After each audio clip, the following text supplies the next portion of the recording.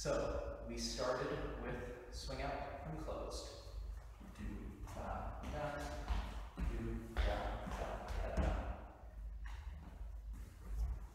Leader in front, forward goes out.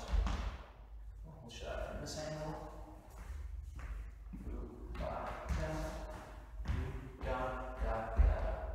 Then we have the circle, which starts in closed. Just hip, hip, back to the start. Do that from this direction. Down, hip, hip, back, get up.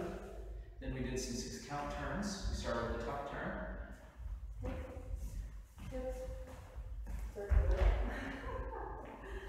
So we go